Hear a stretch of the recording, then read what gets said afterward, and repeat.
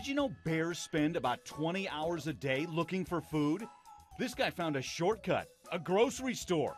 This guy prefers his veggies, but he's not done yet. And if it's open 24 hours, you might see dumpster. He sees grocery cart. But bears don't just like to find food. Like you, bears like five star hotels and go for a scenic drive. and They're having a ball. they like to have fun, or at least try and figure out what this is. Better off playing like this than end up like this. Ouch! All right, wait, let's see that again. But he's okay. Finally, the lesson here is bears are everywhere. Uh-oh, uh-oh. So pay attention, because bears, they may be interesting, but they are still wild animals. Unless, of course, you're like this fearless grandma. To me.